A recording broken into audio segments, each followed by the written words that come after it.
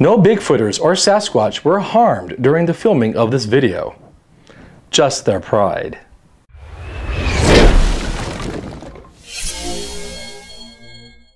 I'm here to do one thing, is to bring one of these creatures back. I don't want to talk right now. So don't get mad. Just keep the keep the camera off right now, okay? I said I don't want to talk. You got it? Joan, get me a Snapple. Oh, Tom Biscardi, you want a Snapple? I got one for you. Hold on. Yeah. Might be a little warm. Hey, my little Squatch monsters, it's time to shake up the Bigfoot community. This is Off the Rictor. Bigfoot's your forest friend? Are you kidding me? I'm sure all of you have seen Rictor's new show. Very nice, Rictor. You have no self-respect. What does he know about self-respect? Speaking of Rictor, Rictor, Rictor, Rictor, Rictor, Rictor, Rictor, Rictor, Rictor. He's my biggest fan. Oh, don't you worry. This season, the earrings are coming off. And then they take all kinds of screenshots, take them back to their troll group. Oh boy, here we go. Make sure your seats are raised and tray tables locked in the upright position.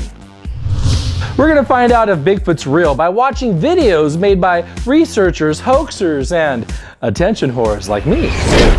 I've got news for you people. There's no such thing as a Bigfoot expert. It's like you guys are just glorified campers. You're camping for a cause. Oh, Okay, this is an example of why scientists don't take us seriously. You want your Bigfoot video to be seen? Now's your chance.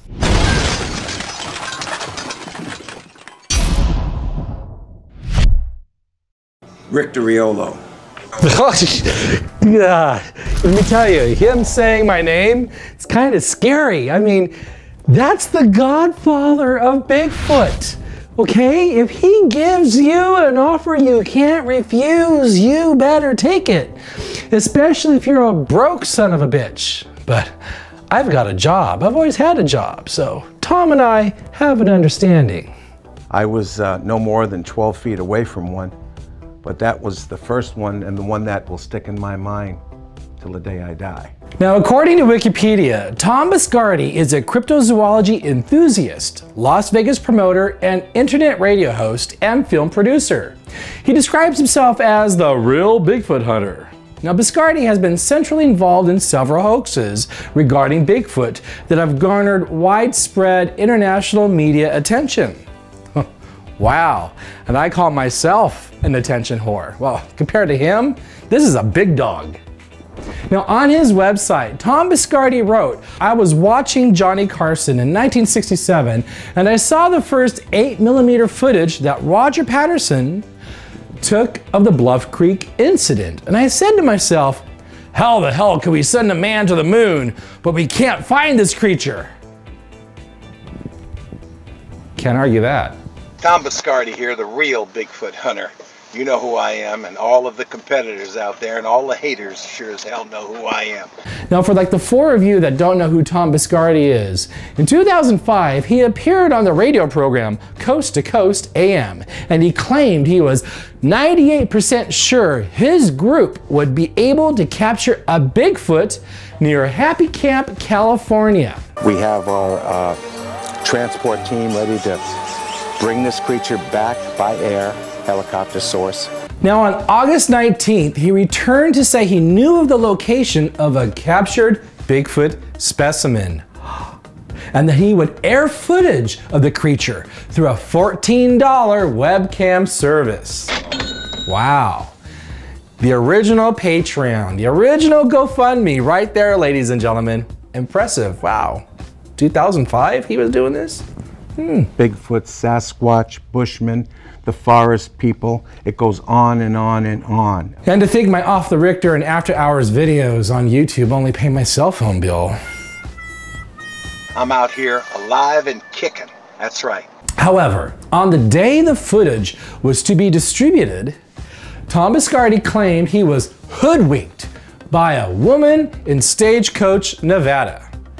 Could it be that dingbat Tara Hauki? And of course, the specimen did not exist. You think? Coast to Coast AM host George Noory demanded that Tom Biscardi refund the money to people who had paid for the webcam subscription.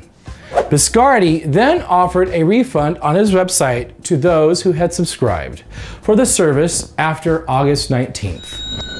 This is as real as you're standing right where you are, sir. But it wasn't. Turns out this Bigfoot was just a rubber gorilla suit. These two men from Georgia claimed they found the corpse of a Sasquatch in the woods. Now, in August of 2008, Matthew Whitten and Rick Dyer of Georgia announced that they had discovered the carcass of a 7 foot 7 inch 500 pound Bigfoot like creature while hiking through the northern mountains of their state. When we discovered it, um, I waited with it. Uh, Rick went back and, uh, and got some help. They said they had placed the body in a freezer in an undisclosed location. They also claimed to have seen three similar creatures when they had found the body. Now, Biscardi teamed up with Whitten and Dyer to promote the claim that they had a Bigfoot corpse and promised the media DNA evidence. The three held a press conference in Palo Alto, California. I remember this on CNN, where they showed photographs of the alleged creature. And Matthew Whitten posted, Everyone who has ever talked down to us is going to eat their words. Well, Tom Biscardi also tried to reassure the media of the corpse's authenticity, saying, Last weekend I touched it.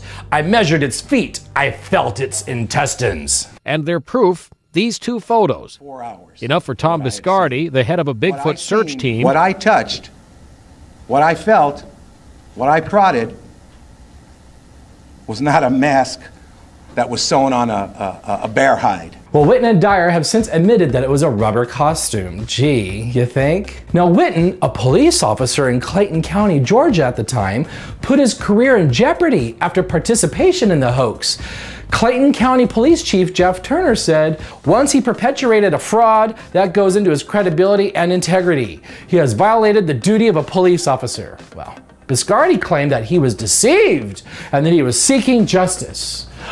Well, that didn't stop Tom Biscardi from appearing in Shooting Bigfoot along with Rick Dyer that came out a few years ago. Hmm. And you're riling me up, okay? But I'm glad you are. It's about time that somebody comes forth and tells the truth. And now, Tom Biscardi is the current CEO and founder of Bigfoot Projects Investments Incorporated and is out looking for Bigfoot, calling it the $1 million Bigfoot bounty. Are you kidding me? Bigfoot is real, make no mistake. And Bigfoot Project Investments Inc., listed on the OTC Markets ticker as BGFT, has devoted all their resources, putting their money where their mouth is to prove it. That's why they've issued this Bigfoot Million Dollar Bounty. To silence all doubters, they're offering a $1 million Bigfoot bounty for anyone brave enough to deliver information leading to the capture or delivery of a bona fide Bigfoot. This is not for the faint of heart. For details about this million dollar Bigfoot bounty, visit searchingforbigfoot.com. Dude, that's not very creative. Did he consider hiring maybe my TV show hosts, uh, Dean Cain, Dr. Disotell, and Natalia Reagan to be a part of his $1 million Bigfoot bounty? Oh my God. All right, let's see what Tom Biscardi has to say on Off the Rictor. Tom Biscardi, the godfather of Bigfoot. How you doing? I am so proud of you, son. You have no clue. Son, son, could it be? Is that my father? Am I truly a Biscardi? Am I some corporate government sponsored saboteur of the Bigfoot world? Is this the Bigfoot truth all you motherfucking haters have been just wanting to find? I am so proud of you, son. You have no clue. Keep up this great, great uh, role that you're portraying, and, and it's sure entertainment, sure entertainment for the Bigfoot world, okay? That doesn't help my case, does it? Oh, it's not looking too good for Rictor. Rictor Biscardi. Ladies and gentlemen, I want to let the world know that Mr. Riolo happens to be my hitman, okay? No, don't tell him that. No, oh my God. It's true.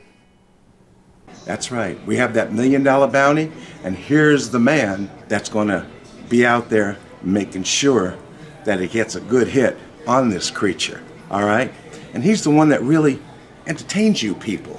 Only thing I don't like, Mr. Riolo, you got to calm it a little bit. Leave those bottom feeders and the people without teeth in their mouth that are on disability and can't form a, a, a sentence of more than three words and can't count more than five, leave them alone.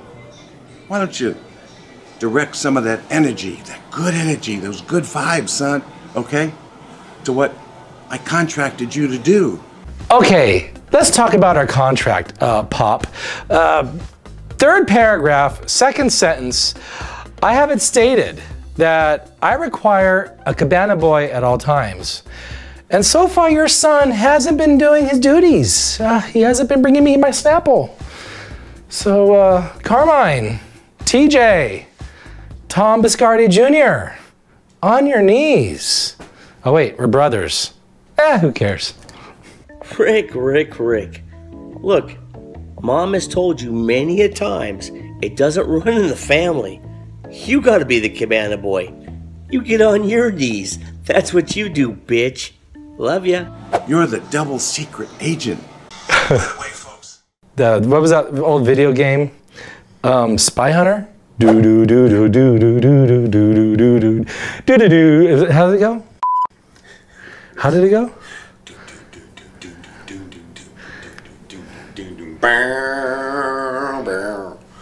Was that how it went? You're the double secret agent. By the way, folks, his name isn't Riolo. His last name is Biscardi. And he's been a triple, double, quadruple secret agent for me against all you other mullets in the world, in the Bigfoot world. You know, there's going to be some of you that think that this could be true. That here is the evidence you guys have been looking for all these years to prove that Rictor's a hoaxer, Rictor's a liar, Rictor's a government sponsored corporate fraud of the Bigfoot world. Really, people? Have a sense of humor. Come on. That's what Bigfoot's about. Tom Biscardi, the godfather of the Bigfoot world, who was in or was not in on the Rick Dyer hoax of 2008. Guys, this is like Bigfoot royalty. Matt Moneymaker, Tom Biscardi, Rick Dyer, and then there's Rictor Re Biscardi, Rolo. By the way, so his real name is Riolo. Riolo is no more there. It's Biscardi. He works for me. Okay? And here's the deal. Let's stop putting all our time and energy with all these weak underlings. Let's go to the people who've really fucked us up. Okay? Who's been portraying and perpetrating a hoax for 50 years. Let's go after Gimlin. Let's go after the scholastic world that these people are teaching our kids. Let's go after Gimlin. I love Bob Gimlin. He's the grandfather I never had. Maybe Bob Gimlin's telling the truth, Tom. But what if Roger Patterson was lying? What if Roger Patterson was truly the hoaxer? Think about that. Could Bob Gimlin be telling his truth? Think about that for a second. Is Bob Gimlin a liar? I love him. I like him. If it turns out that Bob Gimlin was in on this Patterson Gimlin hoax from the very beginning, it doesn't change how I feel about him. Because once someone's in your heart and you know their character, he's a good man. You know, were we all there back in 1967? No, I wasn't even born yet. And Tom Biscardi was probably just getting his Social Security by then. Ah, I'm not going to go after Bob Gimlin. I like the guy. He's my Bigfoot hero. False remarks. This isn't a real film, folks. It's fake. F A K E. Real simple. Even those people without teeth, okay, that cannot construct a sentence of more than three words and count more than five, F A K E. Not every hoax is a bad thing. Okay, maybe the PG film is fake. I've had a change of mind over this footage recently. Uh, my whole life I thought it was real. I don't think it's real now. Uh, when you become friends with an actual hoaxer like Rick Dyer, for example, it opens your eyes and it makes you see the bigger picture. I do think Bigfoot's real. However, hoaxers keep the legend of Bigfoot alive. Bigfoot doesn't want any attention. It wants to be left alone if it's real. So, you know what? Hoaxers are good at what they do. And if the Patterson Gimlin film is a hoax, it brought us all together. I was able to meet some amazing people. I have yet to get laid because of the film, but I'm working on it. Nonetheless, some of you people out there have met because of the Patterson Gimlin film and have had families because of that film. So at the end of the day, it doesn't matter if the PG film is real or not.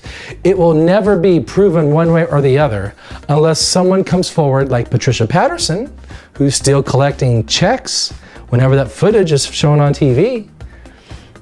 Unless someone like her comes forward and says the whole thing has been a big sham, we're never going to know. And it doesn't matter. We need to go out there and prove Bigfoot's real, one or the other. So, on that note, you know, I support the Patterson Gimlin film if it's real, and I absolutely support it if it's a hoax. Because look at what it's done for the world of Bigfoot. It's fake. Do you understand?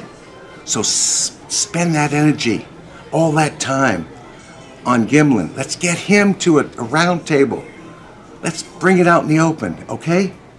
Mr. Riolo slash Biscardi, can we do that? So let's see how good you really are, all right? Let's make it happen, son.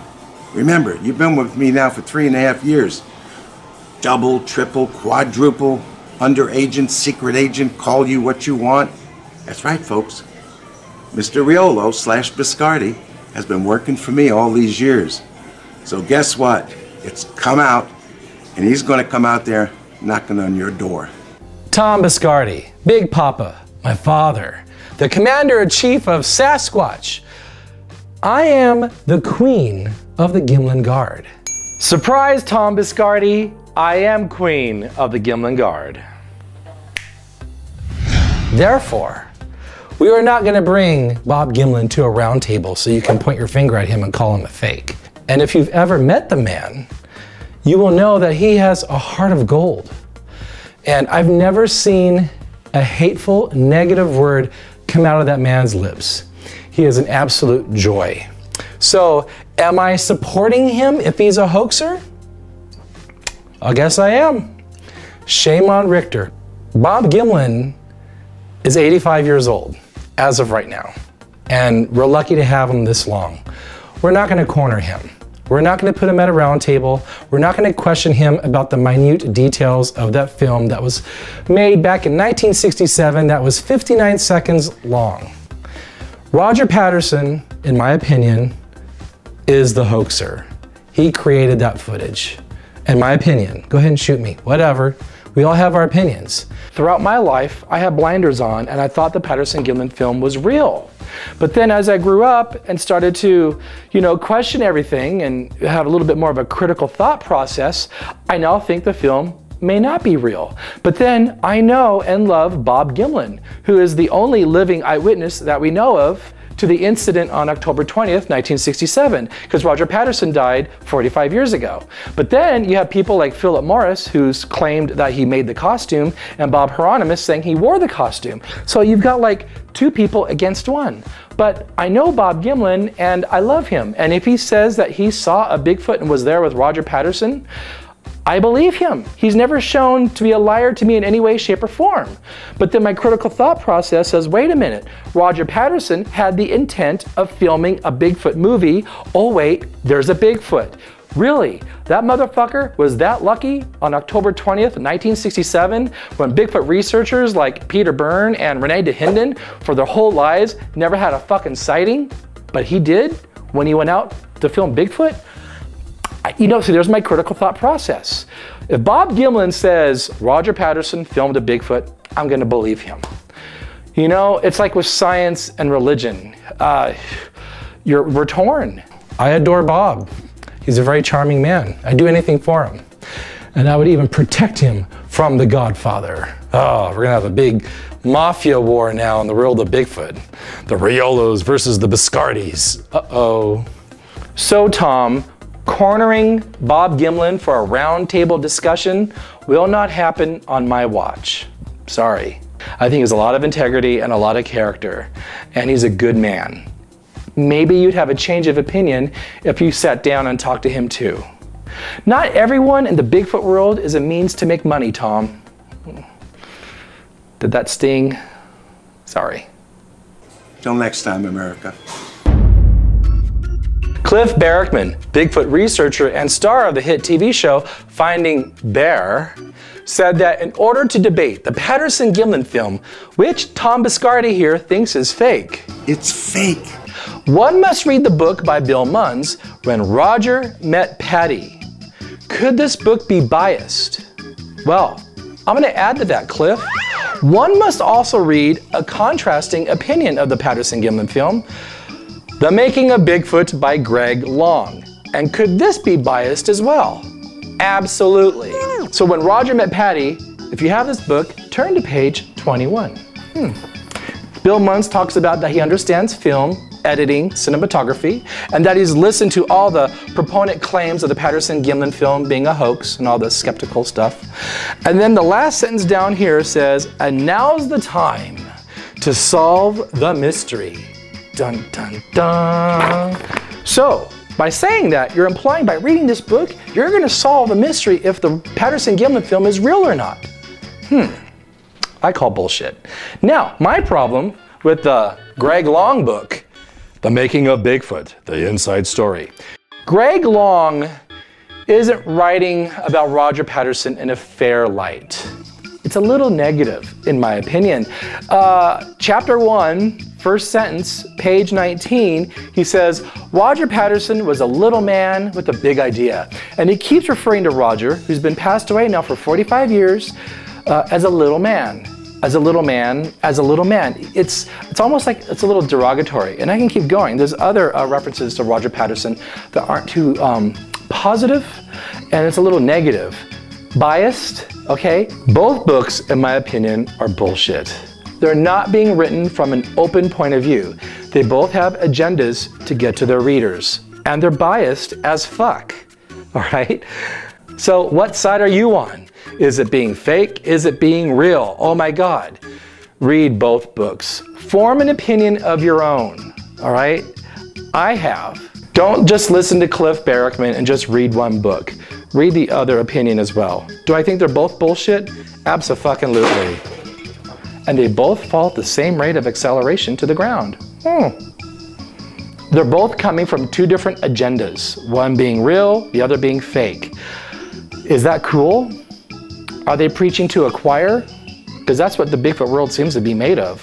Those that think that Patterson Gimlin is real and those that think it's not.